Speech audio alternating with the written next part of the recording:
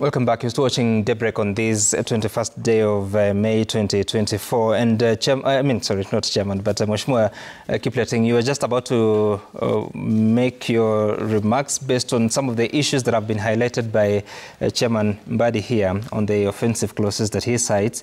Um, what did you want to say?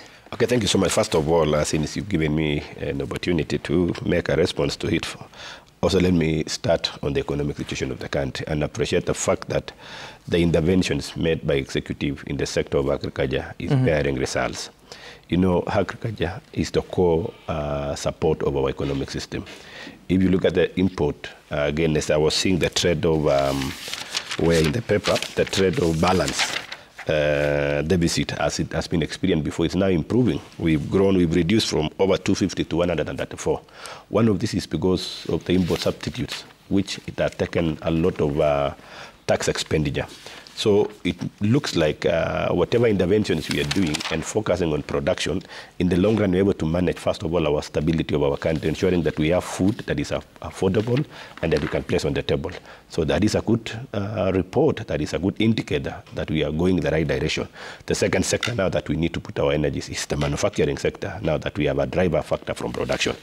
Uh, on these other issues uh, raised by my colleague, as I started earlier, uh, nothing to worry. You know, sometimes when you allow uh, a colleague like uh, John Mbadi, of course, having a different view, uh, you might discourage Kenyans. It looks like uh, this one has been concluded. As I've said, we still have a moment of engaging and also inquiring from Kenyans at the same level. You mm -hmm. are trying to, or you are seeking for the side of expenditure to be increased to accommodate.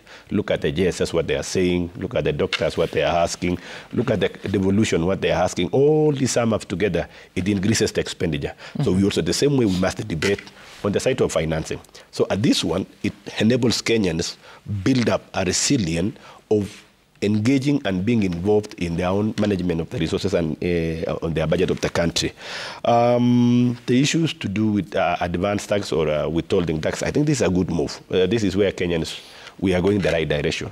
That look at this, we are saying from the same tax which you are paid by somebody else, you've got an opportunity to get employment to do supplies.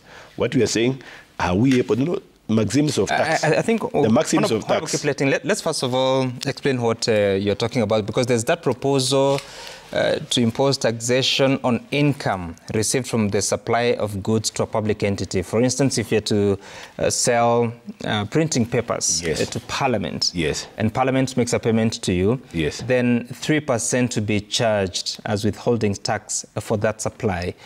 You're saying what is the justification? The justification on the same. Look at this. Any business, of course, you do business with anticipation of making gains or profits. That is a fact.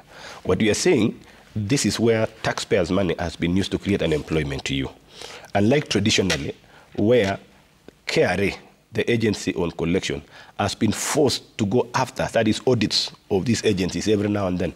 And you realize during audits there are penalties, you know, all this. Because in the long run, as much as business try to find a smart way of uh, avoiding taxes, some of the expenses by law are not uh, exempted. But they have been filing their returns annually, indicating that they file the losses. But when post audits comes in, which is a very expensive exercise, again, the outcome of it has been punitive to the taxpayers. So what I say, the 3% of what we are paying you, we take it at source, finance our budget, or finance the expenditure side. After you filing your returns, probably your financial year uh, lays at the point where you are filing your returns now in the 30th June, if there is any expenditure to hit, and if there is any loss that you made, the law allows you to carry the tax credit to the subsequent financial year, which is a practice, and uh, my colleague accountant understands that when you're preparing taxes. Mm. So what you're saying is the tax regime that the government is trying to propose is to reduce the cost of collecting by ensuring at source 3% is taken and you run the institution. And it's not, this, but, is, but this, is, is not unique is not because possible? on the service sector, my, my sister will tell you as a lawyer, whenever she offers services, 5% of what is due to her is always taken at source. So it's a new thing. It's not a new thing, only that the bracket has been expanded now to the so, supplies of other So I don't know, what's your response, Irene, to that proposal? Because I'm just wondering, what if, for, for sure, for sure, that I supply the printing papers, but because of the expenditure within my organization, I'm actually making losses? I, I, see legal hiccups. If we go back to the minimum tax that was uh, in court, the issue is you cannot assume someone will make an income. Though, as Mheshimiwa was saying, in the ordinary sense of doing business, we assume when you are bidding for work, you have already factored in your profit. That is what we assume. But as you're rightfully saying, they might not be making a profit. So that is an assumption, and I see a, a legal bottleneck there. I think rather than uh, uh, KRA trying to minimize the administrative bottleneck, similar the way they have been going after taxpayers, they should find a way of collecting that money, but not prior and with an assumption. So I see a balancing of two two interests. Mm. So how do you ensure? Because again, there's been quite a lot of tax avoidance and evasion in this country, which is a thing we need to address. So whether that is the right route, I think not. So for me, uh, I see first a legal bottleneck. I don't think it's a just way to do it, but I agree that tax avoidance and evasion is a key thing that we must find a way of uh, going around. Oh, all right, D Dr. Kiiru, how do you respond to that particular proposal, but also are there areas that for you you think really stand out to uh, go against uh, the interest of Kenyans? Yes, I would rather look at the areas that I strongly feel like they go against the interest of Kenyans, for example. I'm a development economist, and one important thing about uh, domestic mobilization of revenue, revenue must go into build into economic growth, building sustainable livelihoods, ensuring that there's resilience in the people's, uh, in how people are impacted by mm. all these things. If you look at the insurance tax, the 2.5% insurance, it's one task I've tried to think about, and you, I think... You mean on the motor vehicles? Yeah, 2.5% the value of the motor vehicles, to start with that one. Mm -hmm.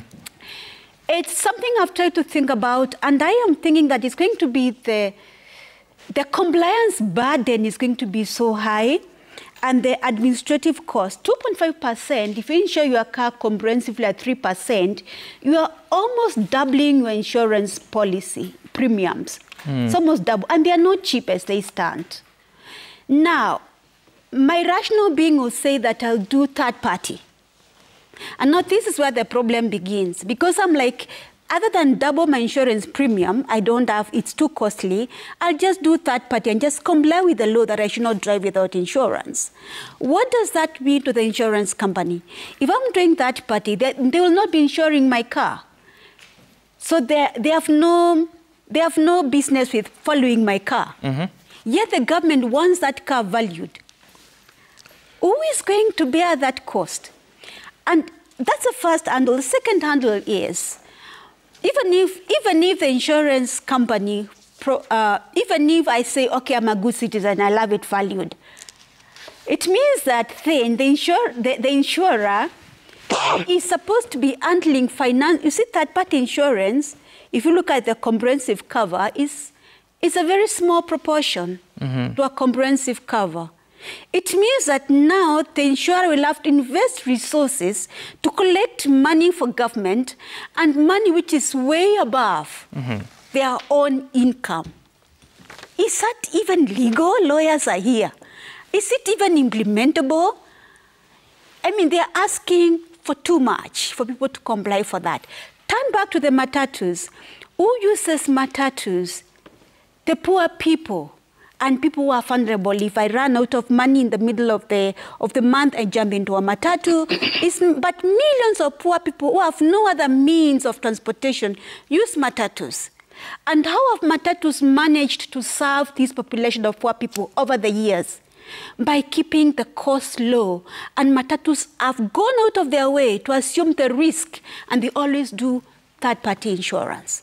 Why? Because it's costly to do comprehensive cover and they'd like to continue serving poor people. Now, here is your government telling them, you must afford what you cannot afford and give it to me. From a socio economic perspective, how does that sound? Is it even reasonable? Does the government really care for the people? Is a Matatu Owners Association more mindful about the Kenyans and the government? Who is taking care of us? Is it? Mm. So at the end of the day, those are things which are stand out. The other thing for me is the um, excise duty on financial transaction and the whole business of, uh, of the 16%. Right. I know it's coming from the idea that financial inclusion is growing. And I, was, and I went back to the numbers last evening. And financial inclusion stood at 84% with a gender gap of 6%, meaning that women are less likely to be, to, to be financially excluded. And I went further down. So, uh, the, out of the 84% counted as financially included, 42% of them only have a mobile phone, a mobile money account. 42%. percent mm-hmm. What does that mean? These people have no chance of earning any, in, any interest from their savings. They have no insurance. They have no pensions. Why would government want to want to hit those people? That's what I'm talking about resilience. Mm-hmm. There is other than help these people to be more resilient and strengthen the financial inclusion because if you look at what is financial inclusion it's just it's, it's not just about having a mobile money account alone or a bank account alone. It should include things like insurance things like pension and things like savings and other financial services that contribute to your well-being and resilience. Yet the government is tearing down at all that. There's many more, but I'm sure Okay. she also wants to put in a word. Oh, okay. Uh, yes, uh, you've taken us back to the motor vehicle tax, and um, I'll come to it shortly. But um, on that proposal that um, Mheshimiwa here, uh, Kipleting, was talking about, uh, about withholding tax for the supplies made to public institutions. Honorable Mbadi, you had something to say, but as you say that, uh, I've found the section you're referring to about the minimum top-up tax that is talking about, and I'll read it in what is indicated there. Um, notwithstanding any other provision of this act, a tax known as minimum top-up tax shall be payable by a covered person where the combined effective rate in respect of that person for a year of income is less than 15%. Um, then says the combined effective rate for a covered person shall be the sum of all the adjusted covered taxes divided by the sum of all net income or loss for the year of income multiplied by 100. What is that? And then it goes on. Uh, Then it goes on to the amount of tax. more- the amount of tax payable shall be the difference between 15% of the net income or loss for the year of income of a covered person and the combined effective tax rate for the year of income multiplied by the excess profit of the covered person. Yeah, that, Okay. that, that is exactly what I was talking about. You know, when you want one of the principles of taxation Mm-hmm. is simplicity. It has to be simple, uh, simple and easy to compute. So the moment you come up with those uh, mathematical permutations, where now you are going to all the combined effective tax rates of that you will be picking all the taxes that an individual pays and then summing them up to determine whether they are more than 15% of the profit, not 15% of, of the profit, and then now you subtract 15% minus the com- collective uh, tax, combined tax, and then you put it over the profit and you multiply by 100, then now you move. You see, it is only mathematicians who can go with me. now, that is why I was saying that I, I don't know who was thinking through Do you think it's job creation Uh, this for, for a CPL like you? really? Yeah, but, but, but there's something, uh, uh, some that you said uh, that we were talking about on withholding tax. Yeah. And, and, and my uh, professional junior here uh, was trying to really support it uh, uh, with all his might. Personally, I'm not uh, supporter of withholding tax. For obvious reason that withholding tax is just a convenience for the government and the uh, tax collector. It is based on nothing. You cannot just tell me that if I have supplied uh, these newspapers, that I take the gross, uh, uh, the gross income that I get, and you take 3% of it. Yet, for example, this newspaper, I'm sure the person who sells this newspaper uh, at 60 shillings makes maybe only two shillings. That is actually his gross income because the rest he pays back to uh, the, the, the person who supplied the newspaper, uh, the, the media house. The 2% is actually gross because he has not taken uh, out of that two, two shillings the transport, uh, the, the lunch that he takes, and all the other expenses. So, to me, you are telling Kenyans to be paying in advance tax that there has not even been computed. And we know the history of this country with tax, re- tax refunds.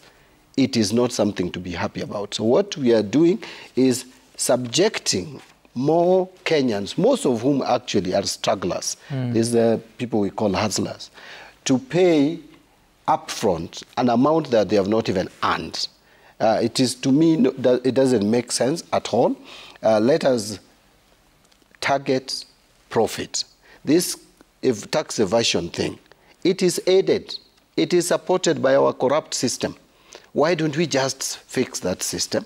Why don't we embark on tax administration and make sure that tax administration is streamlined? And when we come with um, more of these proposals, like the one you've just read, Right. you are creating more room for corruption. Because, as he puts it, uh, now the CPAs are the ones who will be uh, doing the calculations and the math. And you see, we can now sit down and agree that this is what you're going to pay, and out of it, this is what I collect. That is not the direction that this country uh, should be taking. Right. Um, Irene, I don't know if you have uh, views towards that, but I would also want us to spend some time to focus on the proposal. Um, there is eco levy being proposed. There shall be paid a levy to be known as the eco levy Yes. on the goods specified in the fourth schedule manufactured in Kenya or imported into Kenya. The eco levy shall be paid to the commissioner at the rate specified in the schedule. Um, again, a complicated um, um, calculation there. Just want to get to some more details about it. So yes, so the eco levy will be payable on specific goods such as machinery, telephone sets, broadcasting apparatus, rubber tires, diapers, batteries or dry cells, and plastic packaging material to ensure that the manufacturers and importers of the goods pay for their negative envir- environmental impact. Um, where is this uh, taking us? But on the face of it, what is your reaction, and what should Parliament do to eco levy? Thanks, Sam. But I will allow me to just give a rejoinder to some of the comments that came, particularly on the minimum tax. Yeah. I think you should take us through the minimum tax to see the threshold they've put. So the minimum tax does not anticipate your ordinary business person. Uh, so, and when uh, Mheshimiwa has mentioned that uh, corruption is an aspect we need to be aware of, I'd like to inform us that uh, a lot of tax that we lose is as a result of commercial transactions and planning, aggressive tax planning by corporates, particularly multinationals. So corporation, uh, corruption is a part of it, but a huge part of it is commercial transactions that Africa and not just Kenya lose. So that it's an area that is worth the effort and worth those formulas. When you're looking at your multinationals, it's not your ordinary person. And I think that is why we also have the large taxpayers department at the Kenya Revenue Authority. That should be resourced with people that we pay, should be able to design those formulas because you're up against uh, auditors from other countries, accountants from other countries that want to avoid and give the list. And if we do So, not so let, let me take you through the sh- threshold. Covered person means a resident person or a person with a permanent establishment in Kenya who is a member of a multinational group and the group has a consolidated annual turnover of 750 million euros or more in the consolidated financial statements of the ultimate parent entity in at least two of the four years of income immediately preceding the tested year of income. So there's a threshold that already locks out the smaller people. So I don't see it as a threat to the smaller uh, taxpayers. And this is discourse that has been at the African region, following up closely from the Thabo Mbeki report that shows that Africa loses significant amount of uh, taxes, not from corruption. Uh, Unfortunately, uh, uh, corruption is what we normally say, but corruption is dwarfed by aggressive tax planning and commercial transactions. That is why when the minimum tax was in court last year, it has still found its way in the 2024 because uh, uh, our country is aware on how much we are losing. So I would say that that th- there is uh, room for probably just looking at the formula, but it's something we need to be alive to. Uh, Sam and uh, colleagues, if we don't do that, then it means the government comes for the hustlers and the smaller ones. So if we're already complaining around tax on bread, then it will get worse if you leave these ones out. And my contribution really uh, on the finance bill is that I think we are looking at the bread, the motor vehicle, and and with all this, we are losing, we, we might throw out very good provisions uh, that need to be addressed. So one for me, uh, uh, uh, Ruto, when you look at that act, is to look at the issues around illicit financial flows. Look at uh, uh, the fact that we are continuing to give tax breaks to, to multinationals, to entities in the special economic zone, and then you're hurting the smaller taxpayers. Capital gain tax has been proposed to move from 15 to 5 percent for, a, for an entity investing in Kenya. And it's under the guise of attracting investment. But we have been giving this, and we still unemployment is still high. So with this attracting and ceding our taxing rights, saying we will get employment, but unemployment is still uh, uh, high. Why not take the money from some of these multinationals and investors and invest, and, and, and invest in uh, human, right, human development indicators, which from yesterday's report were a bit low. So that for me is a conversation that I, would like the, the finance committee to look at it critically, look at provisions targeting multinational, special economic zones, how much are we losing out? Balance that. Of course, I wouldn't sit here and say we don't need to attract investors. We do need, but we, there's a delicate balancing act between the two. So that is an area that I think we are chasing mm-hmm. other issues, but we don't need to lose uh, sight of that. So just, just to balance that. Um, and when you mentioned the, the, the eco levy, I think that's also an area that seems new when introduced, but we need to be alive to climate change and issues around the environment. When we look at the recent floods, if you look at the floods within uh, a city, I also sit on the board of Nairobi uh, Revenue Authority.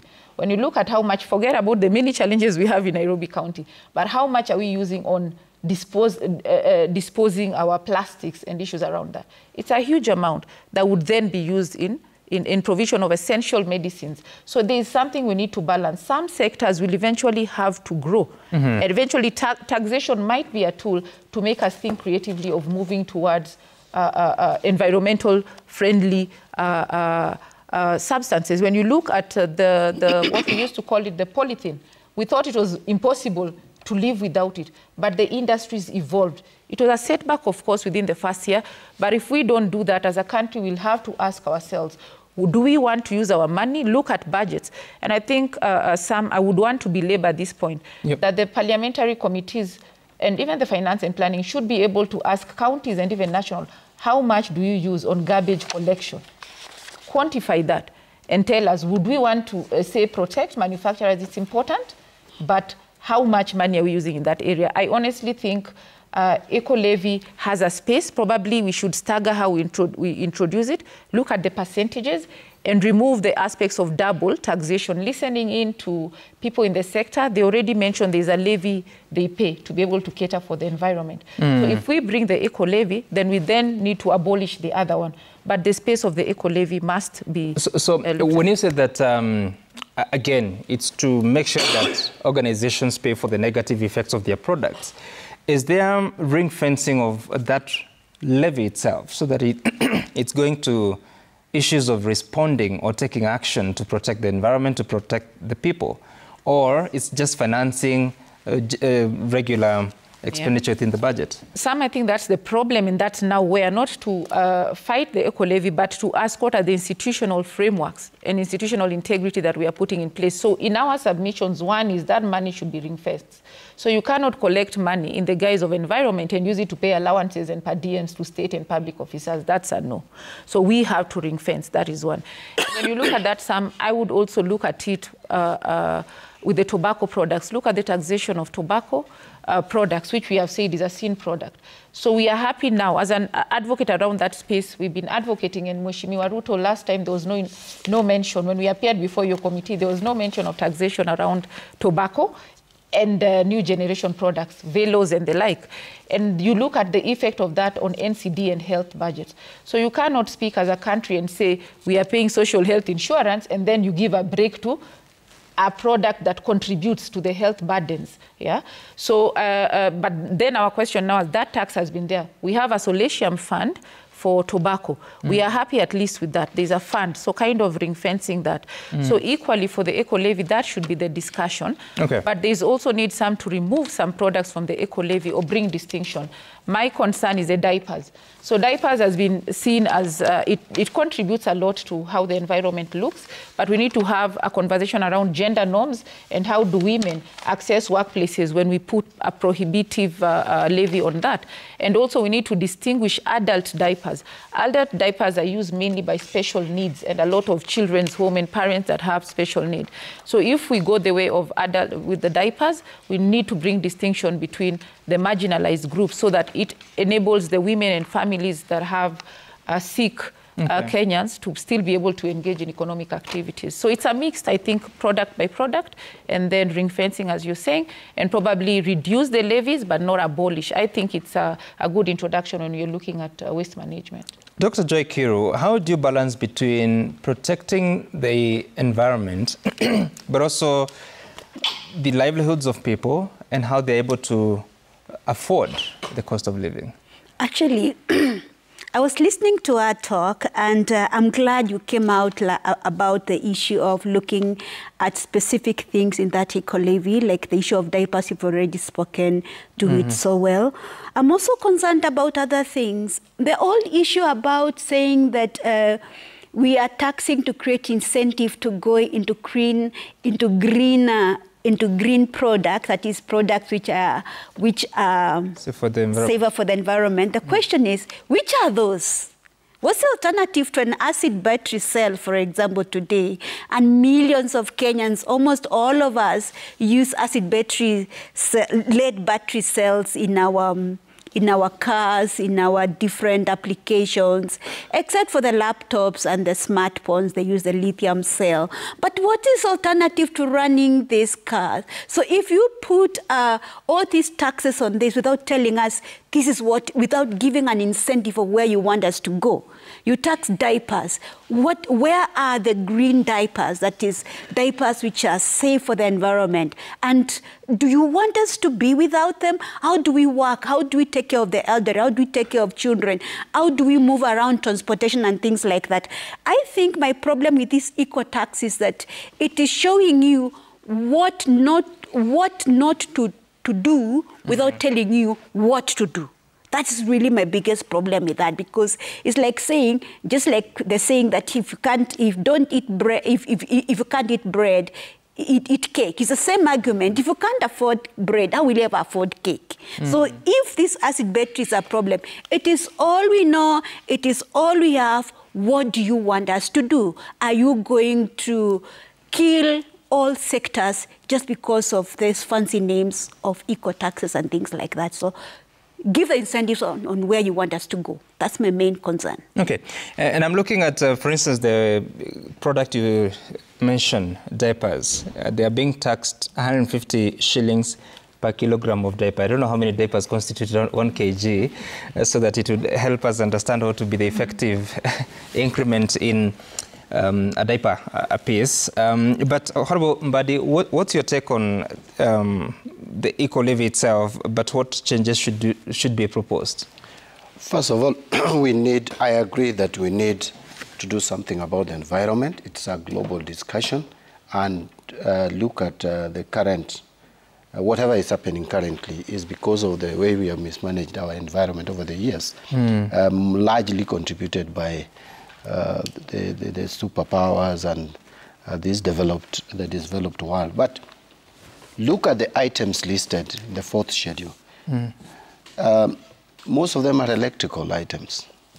I really don't understand how that is targeted as uh, creating uh, environmental problems, because the way I understand electricity and electricals, uh, they are lesser uh, pollution, uh, polluting our environment. There are others, uh, the other items. But to me, if we have to have this levy, Right.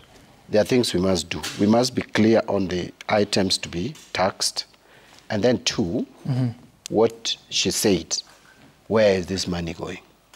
Because if we are going to put it uh, together or lump it together with the other revenue and use it as will, then there would be no need of uh, that taxation.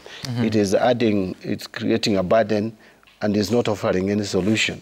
So that to me would be the amendments that we need to make is number one, to be clear on the items to be put in that schedule to be taxed uh, or to be levied eco, uh, to be uh, to be subjected to eco levy, levy, and then two, we have to decide that that money will, just like railway development levy and uh, road maintenance levy, we put it to eco um, management. We make it money that is definitely going to manage our environment.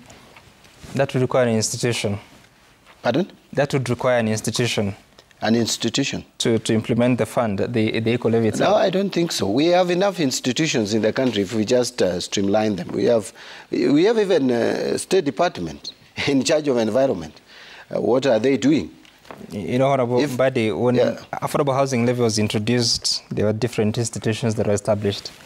Yeah, but uh, yeah, but you see, like we have the railway development levy, uh, the road maintenance levy, etc. Okay, I know the road maintenance levy. There is the Kenya Roads Kenya Board. Roads Board. Yeah. But we don't have to create institutions every time. Don't we have institutions now, like we have NEMA? We have we have many institutions. We just need to uh, put systems that work Okay. within those institutions. Now, Mheshimiwa Kipleting, you wanted to say something. Uh, thank you so much. First of all, uh, I want to agree with my sister over there. These issues of uh, uh, b- base erosion and profit shifting has been a great problem to developing countries and growing economies, where we give uh, a basis, a space for multinationals to come and utilize the cheap labor cost in our country.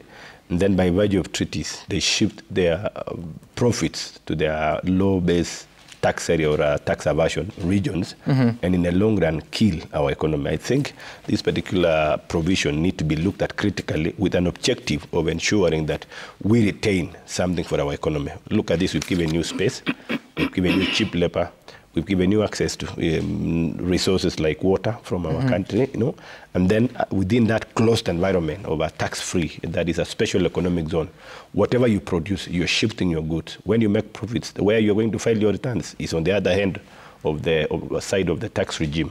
So I think this is something we need to welcome. As much as we would have different discussion, but we need to be very objective on this one. As pertains issues of eco taxes, the issues of car tax is, an, is one of the eco tax. I think I've had discussion around it, and people seem to look at it as a revenue item.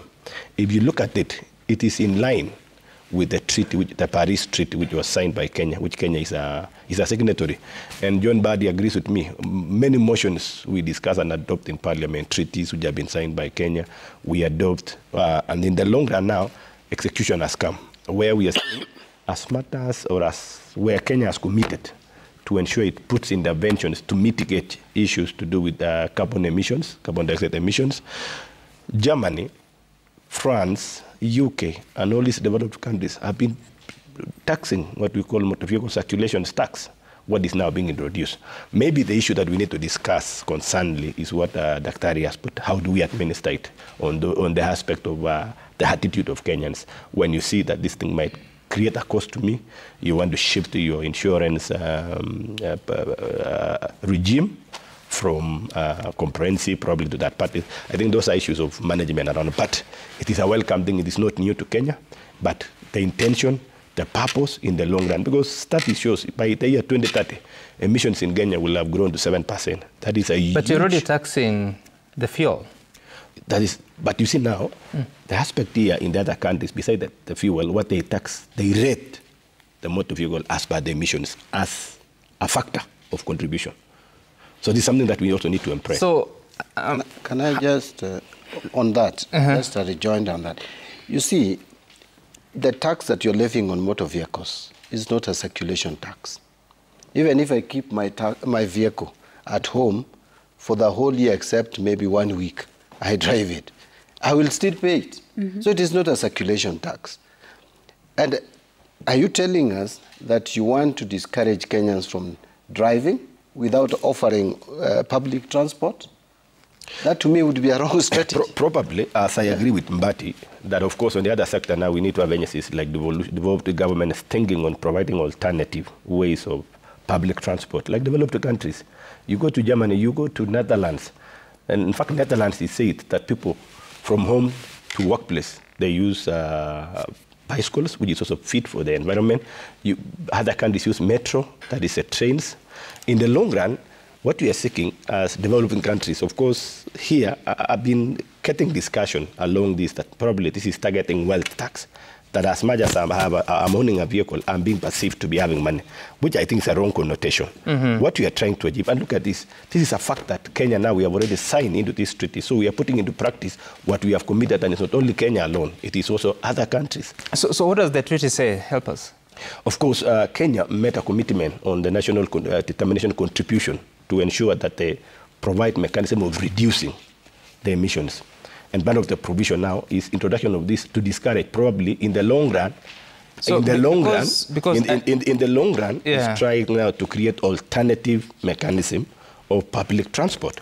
If that is the idea, then you're saying that um, owners of vehicles will pay that motor vehicle tax, but those that are owned by county governments, national government, and other institutions, they will not be paying And I- that I'm tax. quoting, I'm quoting devolution. You know, devolution are a, huge task in terms of transport to manage, especially where transport is No, no, affected. no. I'm saying Yes. the law, the, Yes. the, the bill as it is, Yes. it exempts vehicles owned by uh, g- government institutions, for instance. So, what carbon emissions are we dealing with? The fuel guzzlers are owned uh, on, and are run by people that are in, public offices. Well, uh, any regime, of course, you will agree with me, this is a start point. That's why we have all this discussion. In the long run, of course, as country Kenya, and of course, like how did Germany started? How did France started? How did UK started? It is now a regime that is well endowed with the people. Maybe, probably how they approach theirs, they just charge based on, your, on the rate of emission annually, not even on the circulations like now what you're introducing here in Kenya. So how will that be calculated? Because when you value your car, for instance, if your car is valued by the insurer at 1 million shillings, that value, the essence of that value is that in it, there are taxes, the import duty. Well, um, maybe that is So what will you tax? Of course, as it is, as the, by the proposal of this particular finance uh, bill, is trying to look at what is at the insurer is charging this particular value, based on the value, because all accumulated together, it amounts to the value of that car. That's what I'm saying. Yes. Hear me, Honorable Kipleting. Yes. If you go to your insurer and they say that your car is valued at 1 million shillings, Yes. um, and this is not the market value, it's the value for the purposes of insurance. But that, that value is inclusive of when you imported that car, there was the landed cost and there was the import duty, the different uh, I mean, category of that, whether it's excise, is VAT. Include in, in, in all that in totality gives you the value of that car while it's in Kenya. If you're going to tax that value, you're taxing taxes, aren't you? Uh, at the point of our discussion, what is the comfort of the value of your car? Because there is a cost of origin, CIF, uh-huh. import taxes, all uh-huh. this and value addition. It amounts to, that's why, what, what are you insuring? Because it's the value, that is a comfort value, what you're insuring. What Yes, what that's what you're insuring. So it's at, But from the is- same is- regime, is that what the is again from the same tax? of your comfort of that particular car, what you are comfortably insuring, that the taxman is saying, give me a percentage of this one. Maybe the debate is, is this reasonable? And that's why the law is proposing a maximum limit and a minimum limit. I'm asking that because even when you're calculating Yes. the import duty, whether it's excise tax or VAT or whatever it is, Maybe I need to ask a question. It is based on the customs value. What do you value. insure? I'm saying, Yes. when you're raising these taxes, you're charging these other taxes at- as you import your car, it is based on a customs value that has been assigned. So when you come to tax the motor vehicle, why would you charge a tax on a value that is inclusive of taxes? Uh, first of all, as I've said, this particular tax is trying to introduce an element of the comfort of your insurer. That is why insurance is being factored in in this particular case, so that the value of that car is at the comfort of the taxpayer or at the comfort of the insured and the insurer is at the, what what is the component because the minimum way because if you introduce other parameters you will create another element of confusion in arriving at it So convenience first. Some, Yes. some, Uh, yes, and then Dr. Kiro. Yeah, some, that's one of the gray areas of this. Because what this bill is proposing is to give the powers to the commissioner mm. to determine uh, by prescribing uh, how valuation is to be done. And uh, generally, it talks about the value will be based on make, model, engine capacity, and all that. Right. And uh, you see, as you put it, a lot, the value of the car. In fact, if you are buying a car today, almost 50% of it is duty. Yep. So that will also be built onto what you are supposed to pay as, as, as motor vehicle tax. So it's, to me, it's not well thought out. This, this, this tax, to me, it is something that should just be taken off this bill. I, I have no any other words to, I, I don't even want to save it. Dr. Kiiru. Yes. I think you have a problem with this government. I think you are letting Kenyans down very badly and we're very disappointed. When you start telling me Germany has done this, Germany has done that, and, and Netherlands and US and all that, it reminds me of a story of, of, of, of this poor man who went to Bejimak in a rich man's house and he saw all the food is brought to the table and everybody does self-service and he thought it was very nice. And so he went home and he said, self-service. And the first two kids served everything and there was nothing left for anyone else. So the question is, have we ran out of models of countries which, who are comparable to us, who are doing better and in the same context with us. If you tell me about Germany and Ecotac, they've got all these other alternatives of green, green alternatives. They've got electric cars, they've got good working public transportation. I don't even, I went to school in Germany myself for my PhD, and I didn't, there was no need of using public transportation. Use the time reading a newspaper, it's fast, it's efficient, it comes on time, I mean, if you tell me, me, poor Kenyan, I went to Germany and I benchmarked this, I'm looking at you like, surely, are you, are you in sync with what I'm going through? So please, government, you can do better in terms of this benchmarking that you're doing. I know you get a lot of money going to Germany and wherever, but please look for countries who are like us and who are doing good and tell us, Ethiopia is doing this, Malawi is doing this, uh, Tanzania is doing this, and they are, you know, let us learn from people who we are selling in the same boat. That is why you are telling us about diapers and you're not telling us what to use. Do we carry babies without? I mean, it doesn't make sense. Do better. You know, Dr. Kiiru, did you just say that uh, they get more money going to Germany? yeah, per diems. I think uh, Sam Gituku, yes. I would wish, not without um, undermining my sister, yep. but I wish to invite her Especially, I know she's a person of the books. Mm-hmm. I mean, uh, at a level she reads.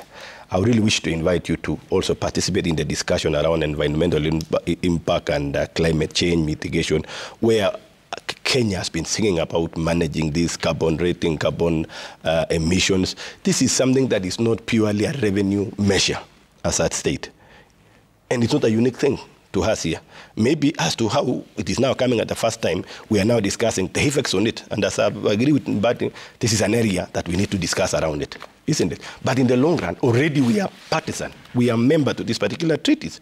And it's in practice elsewhere. So it's not a question of benchmarking, it's not a question of a new thing we are introducing, but it's a question that we are living with the fact you know, that environmental issues that is being discussed globally. Yeah. And even the president is on record has been participating in discussion. Honorable Kipleting, I hear yes. you, yes. but remember that um, the Republic and its institutions are supposed to be serving the people.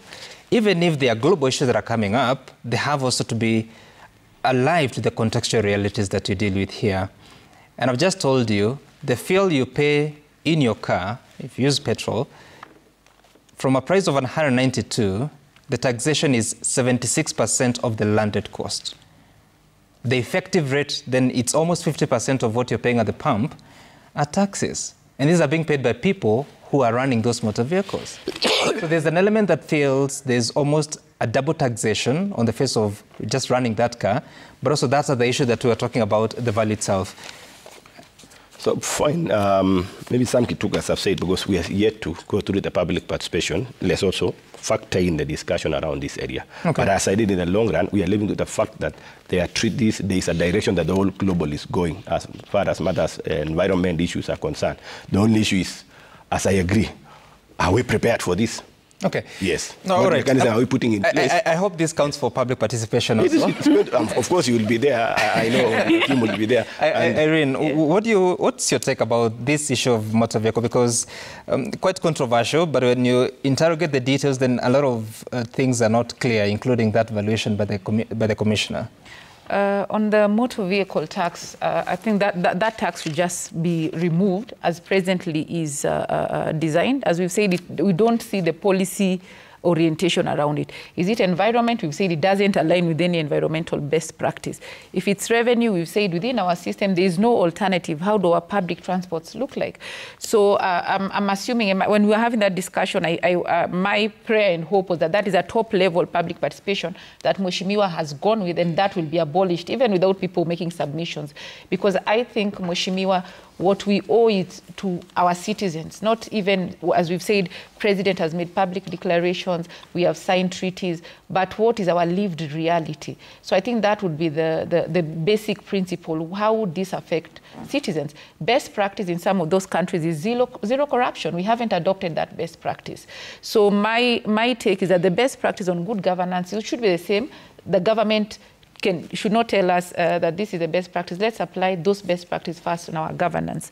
Uh, uh, the second aspect, I think, which I wanted to speak generally around all these provisions we are speaking about, I feel that citizens ha have been left with picking uh, clauses and saying this clause is good, this clause is bad. But I think the Treasury and the executive must do better. They bring a document that is fully defective. If we are to look at most of those provisions, are provisions that uh, just don't align to, to the situation currently of a lot of Kenyans. So my, it, it would be really good for us to see uh, the finance committee rejecting some of this document, even without and saying, go and this, we cannot even subject this to public participation. Because as the document is, even if we say we are going to go for public participation on what, what are the options? Eventually, if we were to have a document, it's a document that will not serve Kenyans. Mm -hmm. So I think at the point of formulating a, a bill, whoever is formulating it should not formulate it and give Parliament and the committee a hard time because, uh, Mheshimiwa, these bills will continue giving you more submissions than last year, and I can imagine the number of times uh, time spent on looking at that. So this, for me, again, shouldn't be narrowed down so much to Parliament and the committee. We also need to ask ourselves, who are the creators of this bill? What are they thinking? Mm.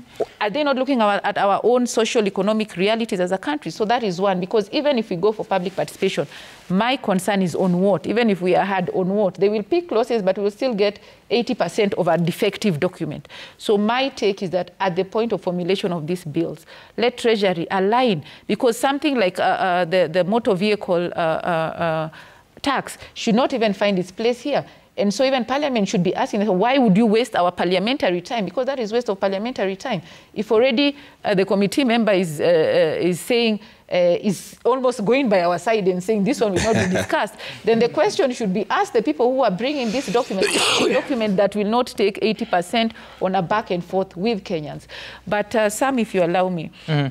I think uh, some, if, if we continue as a country with this protracted and emotional discussion around the finance bill, we miss very good provisions, either environmental. So we need to ask ourselves, why are Kenyans so averse to issues around tax? And the thing is, still brings us back to, to accountability. If mm. Kenyans felt that that money, we wouldn't, I wouldn't take a whole week reviewing this because I'm trying to look at the detail. Why is government trying to steal my money? I have no trust in the government. Mm. So it's, uh, the question is we need to build trust and accountability. Not, not most countries use as much time as we are using on the finance bill. And the question is, be everyone is suspicious of the government, private sector, civil society, citizens. It's because we look at our audit reports, we look at uh, what it says. I don't know what the park chair looks like every looks at looks at every other day. So if we address the accountability, we'll, we'll, we'll reduce this acrimonious process right. that in it we have lost very progressive. Some for now you can see if we go this way, we'll, we'll lose out on the minimum tax. A very good provision on base erosion and, and profit shifting, as Mheshimiwa said.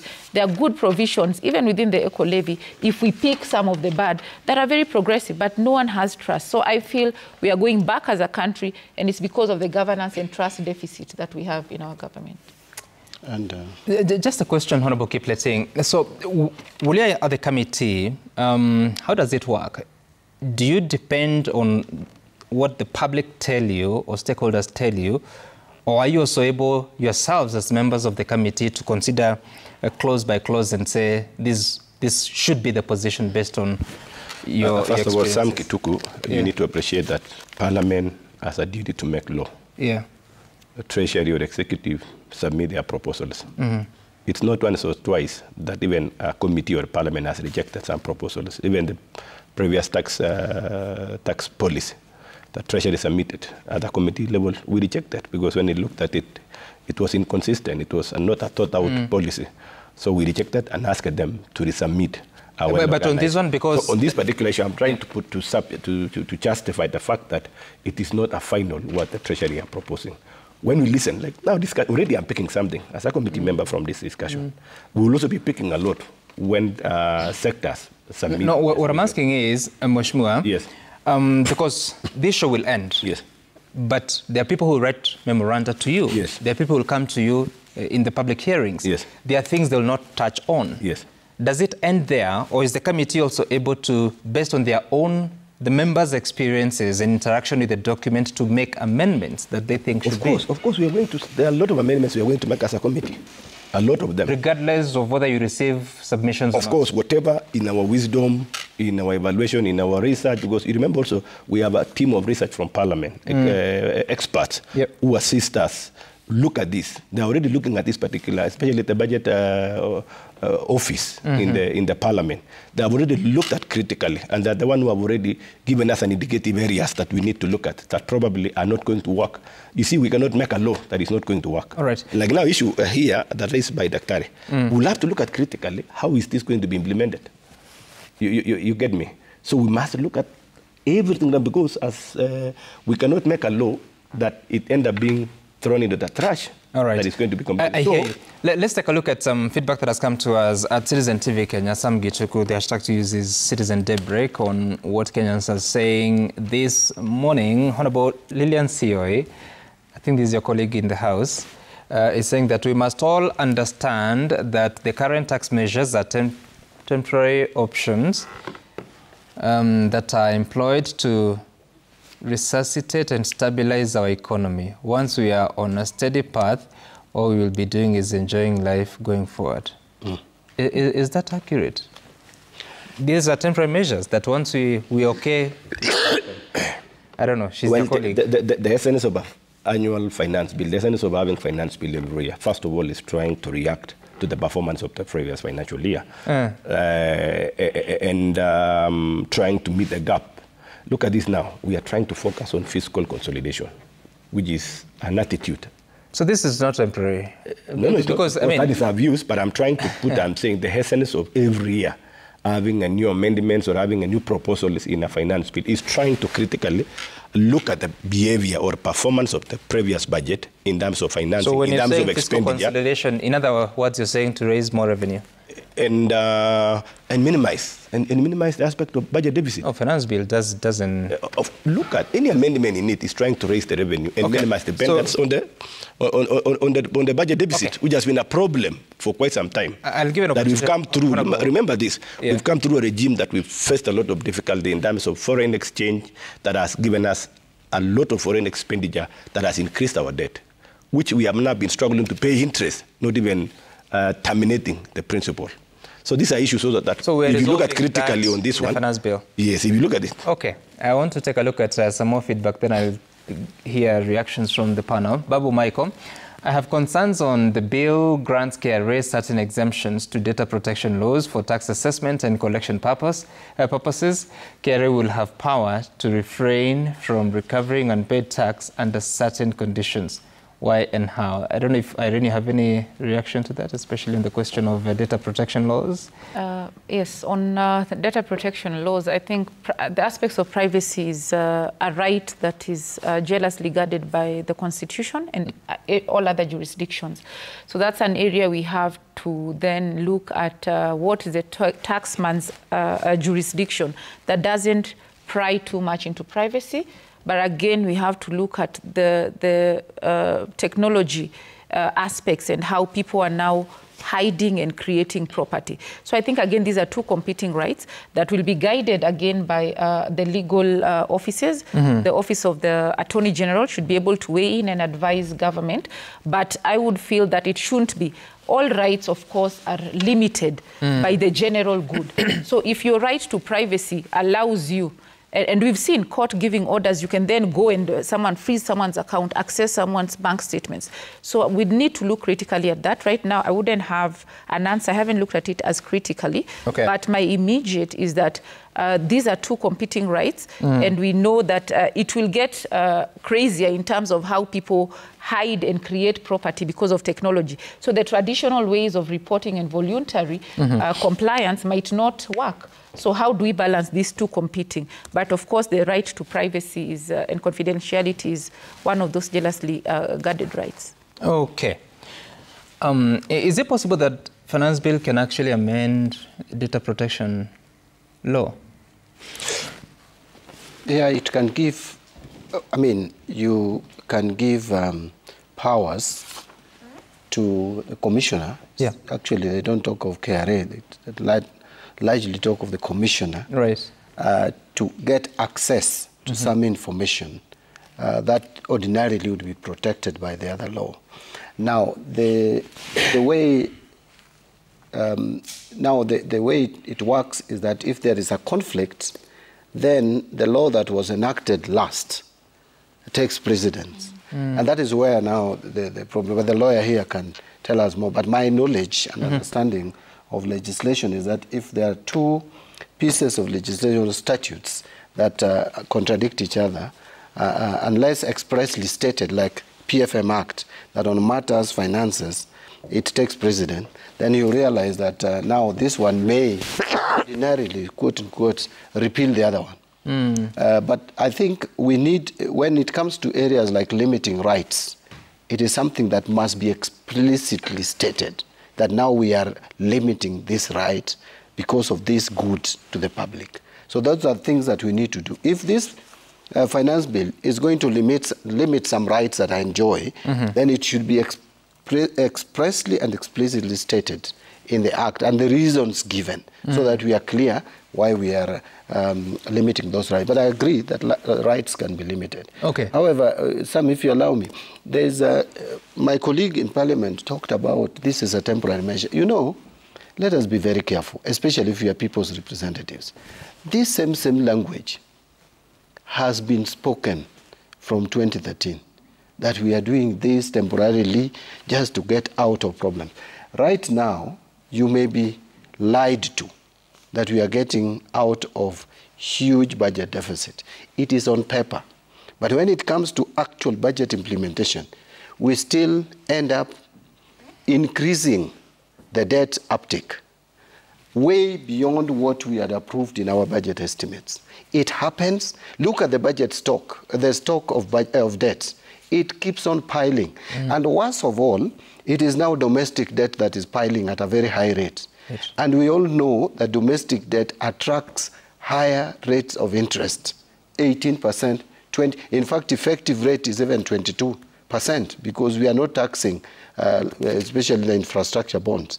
So we are not, we should not be lying to Kenyans that we are getting out of the hole. How do we get out of the hole when part of the stories that we read is has budget too? And we are telling Kenya, we are reducing uh, the budgetary allocation for responding to disasters, like it happened in my constituency on 29th of last month. We lost four people out out of the flash floods. People, uh, shambas have been swept away. You are reducing budgetary allocation to that. We don't know how the weather will behave uh, in, in the next uh, year. Yet, you are hiring helicopter to carry the president and other joyriders. In fact, if you look at the team that is to the US, you ask yourself, what are they going to do there? A huge delegation to the US. To do what? To talk to Biden?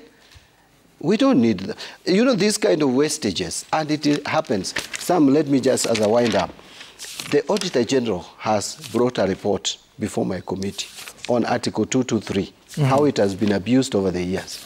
I have attempted to propose a legislation to limit and control how that article is used. Do you know the end result? I was before his committee, finance committee, and they were largely in agreement with me. Treasury came after me and trashed everything. That legislation has been rejected at the point of pre-publication. It cannot even see the light of going to the National Assembly. Parliament being controlled by executive Should- because Treasury is the biggest culprit. In fact, it's like you are bringing a criminal. Does Treasury have to agree with it for it, for it That is the question you want to ask. You are bringing a criminal to determine or decide whether he should be convicted or not. Treasury is the one that is misusing. Look, right now, you, you read the other day how Article 223 is being even used to give money to the office of the DP. To do what? Article 223 should respond to emergencies and cases where we did, like the, the floods that we had in the, across the country. If we didn't have enough money, then we should use Article 223 to allocate more money and ask for parliamentary approval. Some, I would tell you, as a country, we are not serious, and these excuses that my colleagues are giving. I started speaking about Eurobond in 2013. Go to the records of parliament. No one listened. Now they have taken a more expensive Eurobond to retire expensive Eurobond. And then you are being told we are getting out of the debt uh, quagmire. We are not. As a country, the next president will speak the same language that Ruto is speaking. Dr. Joy, you're coming to the end of the show, but what is your takeaway? Because the president said last week that um, by the time he's done, he wants the taxation at 22% of the GDP, meaning uh, because we are not expanding the economy as much as, as fast as we would want to grow the taxes. What is the implication of this, and what do you think leaders need to be conscious about? You see, if you look at taxation, the biggest mistake that you're making in this country is that we are looking at taxation as a way of raising government revenue per se. We are looking at the end goal as more money to government. For what? To fly. This morning I heard that there's no money for vaccines. Vaccines are running out. School feeding program has been scrapped off. Then all of a sudden we're seeing Hustler jets I mean, we are of 200 million uh, dollars. We are seeing state house fabrication. Now, if you look at it as collecting money without looking at really what economically, what are taxes supposed to do? They're supposed to maintain macroeconomic stability, resilient livelihoods, stimulate economies and growth while bringing in revenue. So the end goal is this all other people's livelihoods and well-being, not the revenue collection. And if you just focus on people's livelihoods and well-being, you will, you will do right policies, or rather just policies when it comes to taxes. But if you look at it as just money for the sake of having money for spending and spending on what, that's where the mistake really comes in. We should look at, we should have the correct perspectives on what really taxes are supposed to do okay. and focus on that and let the revenue generation be the secondary measure or, or, or, or rather the secondary outcome of taxes, okay. not the principle. I, Irene, your closing remarks, because again, um, every year the budget and appropriations, um, what, is, what, is the, what is the word? The budget statement, every other year it's growing, the expenditure is growing and therefore necessitating even more the, the revenues that need to be raised. So when do we stop? Um, but also, what are the alternatives? Okay, uh, one, uh, just piggybacking on what my colleague has mentioned is that uh, uh as a country, we need to look at the aspects of tax and redistribution. So we progressively we are seeing government asking for more taxes, but they are ceding their roles. So a lot of them, they're going towards public-private partnerships. So what is the essence of adding more uh, taxes to a government, but they tell you that for a road, you have to pay. For healthcare, there's another fund. So we need to ask our question, ask ourselves a question, where is the resource going to? And when we are looking at public-private partnerships, what of the uh, uh, people in the, in, in, the villages? Secondly, I think I would want to, uh, as, as, we close, to see, just see a government that can push back. So a committee that would first ask itself, when revenue uh, bills and finance bills are brought before us, are we having conversations with our PAC uh, counterpart. Because the first question would be, you want more taxes. What happened within the last report? So I would want that to also maybe preoccupy the committee more, that the first order of business would be to ask the PAC uh, counterpart, have the audit reports become better? So it's only on that basis that you, you can then say you are approving. So if the audits are wrong, don't even look at that document. I think there's an incentive that government must demonstrate what have we reduced. And secondly, when we talk about fiscal consolidation, we would want to see it also from the government side. So a lot of fiscal consolidation goes towards essential public services. How do we reduce that? But we don't see a serious reduction in the excesses of the executive, of both public and state officers. So if we're able to look at those three, I think we can be able to have uh, the, the, the budget reducing because as we are saying, the finance dis discussion is also a budget discussion, as uh, Honorable Ruto said. If you want and you bring so many needs, then the finance bill will of course be more. So okay. that, that for me is that we are all watching as citizens. And I think we, as leaders, you owe us that to stand with the citizens within these hard economic times. I wanted to have the final word. Um, let me take what you had said to be the last. Uh, but for you, your final word and, and, your takeaway, even as you go to do that very important. Even a minute. you actually did. okay, thank you so much, Sam Gituku and my colleagues. First of all, we have had a, um, a very nice uh, discussion and engagement. I want to agree with my colleagues. The issues of corruption is a serious impediment in our economic growth.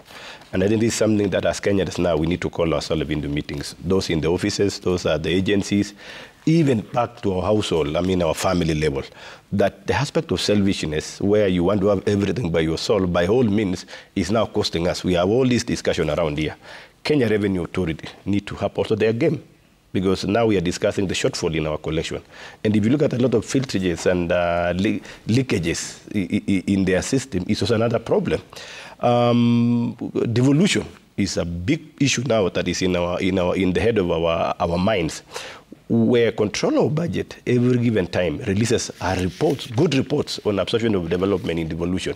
But go down there, you will hardly see exactly where is this money invested. And I think it's one of the offices that um, Mbadi will agree with me that we need even to resource much mm -hmm. so Mm-hmm. that they have enough muscles to follow the money, they open the gate to where they're going. If devolution will have their game, especially on the health sector, transport sector, we reduce the dependence on the central government. That will be one mechanism of reducing our tax, uh, ta uh, tax expenditure, I mean our budget expenditure. If we reduce our budget expenditure, mm -hmm. we will be able to reduce also on the uh, discussion on the finance bill. Lastly, uh, next discussion probably, if we're able to have uh, discussed the budget structure, Right. the behavior, Right. so that we also stop discussing of budget corruption. We want to see kindly. Let us look at the recurrent. When we say recurrent is around 1.2.3 trillion or for say like that, Mm. development is around 600 billion. We have 400 billion going to devolution. Sum all this together, we are still going back to Okay. the deficit financing. There is issues to do with uh, pending bills. You know, we need to have time and look at all this because that's another element again Yes. that we need to address. If we address the pending bills, we are going to stimulate money in circulation and the economy Right. will build up. Okay, okay, all right. Very pertinent issues that you raise. Sam, I promise I'll not take more than one minute. 30 seconds, Yeah, please. 30 the, the- seconds. the next I'll, session I'll is in say we yeah. need to take public participation seriously. Yeah. First, it is not just Parliament which is supposed to do public participation. The executive needs to do public participation. If you're making tax proposals, please let Kenyans know. Finally, I want to also repeat that even us in Parliament, we let Kenyans down. All these provisions you see in the finance bill were with us here in February. BPS had already spelled out what was supposed to be done to raise funds, including the motor vehicle, and we passed it. Uh, so I think these are things that we need uh, so that we don't waste time, as she put it. Okay. V- s- s- Sorry, we're out of time, Honorable Kipleting. We, we'll, have, we'll have you next time. Um, but tonight also, Yvonne Okwara will be speaking to the chairperson of uh, Budget and Appropriations Committee, Ndindi Nyoro, about some of those provisions. Uh, so be sure to catch that and very important uh, questions uh, being raised here. That's our time here on uh, the questions about Finance Bill 2024. We hope you've benefited from something. Uh, Julius Kipleting from KSS, Dr. Joy Kiiru from the University of Nairobi, Mheshimiwa John Mbadi, um, as well as Irene Otieno from the National Taxpayers Association. Thank you for making time for us have this conversation. Up next is Matters or Show with Safin Acheng Oma.